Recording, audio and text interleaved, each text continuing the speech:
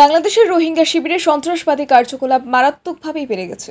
একের পর এক রোহিঙ্গা নেতা খুনের ঘটনা এবং সন্ত্রাসবাদী কার্যকলাপ বৃদ্ধি পাওয়ায় নড়ে চড়ে বসে বাংলাদেশ সরকার। পরিস্থিতি নিয়ন্ত্রণে আনতে কক্সবাজারের শরণার্থী শিবিরে সেনা অভিযান শুরু করে বাংলাদেশের আর্মড পুলিশ ব্যাটালিয়ন। গত শুক্রবার থেকে কক্সবাজারের শরণার্থী শিবিরে শুরু হয়েছে অপারেশন রুট আউট রোহিঙ্গা শিবিরের সাধারণ শরণার্থীর মতোই লুকিয়ে রয়েছে সন্ত্রাসবাদীরা। তাদের পাকড়াও করতে কক্সবাজারের শরণার্থী শিবিরে অভিযান শুরু করা হয়েছে। এখনও পর্যন্ত গ্রেফতার করা হয়েছে ষাট জনকে। রোহিঙ্গা শিবিরে লুকিয়ে রয়েছে ওই সন্ত্রাসবাদীরা। তাদের পাকড়াও করতে কক্সবাজারের শরণার্থী শিবিরে অভিযান শুরু করা হয়েছে। গ্রেফতারও হয়েছে অনেক সন্ত্রাসবাদী। অনেকেই আবার সীমান্ত অতিক্রম করে ত্রিপুরার দিকে প্রবেশ শুরু করেছে। বাংলাদেশের সূত্র মারফত জানা গিয়েছে, রোহিঙ্গা সন্ত্রাসবাদীরা ত্রিপুরায় প্রবেশের জন্য বেশ কিছু নতুন পন্থা হাতে নিয়েছে। যার মধ্যে শিশু এবং মহিলাদের ঢাল হিসেবে ব্যবহার করে রাজ্যে প্রবেশ করতে পারে তারা।